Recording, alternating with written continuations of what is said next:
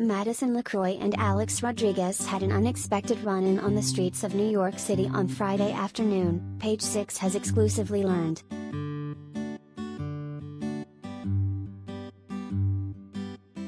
We're told LeCroy was wedding dress shopping at Vera Wang for her upcoming nuptials, and upon leaving, she was greeted by a group of Rodriguez fans and photographers.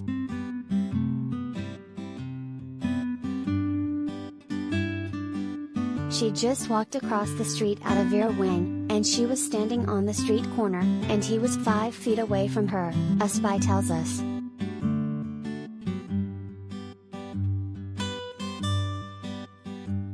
She turned to see who it was, and she saw he was getting paparazzi shots right next to her.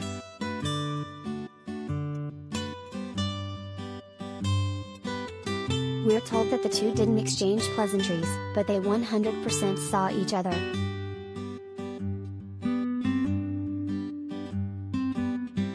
Locoina Rodriguez's reps immediately returned page 6's request for comment.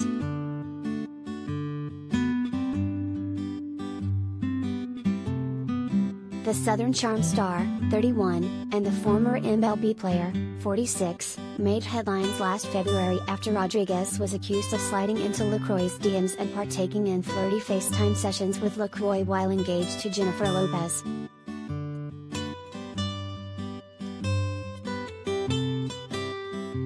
LeCroy eventually addressed the rumors and claimed that the two never met in person and only spoke on the phone.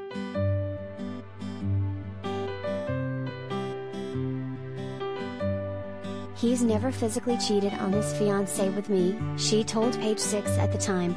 She added that the two adding had only spoken on the phone but had never been physical, never had any kind of anything. Just an acquaintance.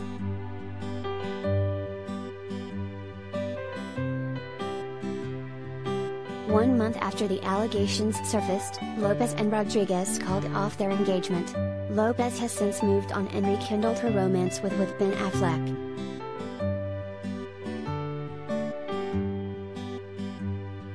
Meanwhile, LeCroy has been busy planning her wedding to her fiancé Brett, whom she got engaged to in October.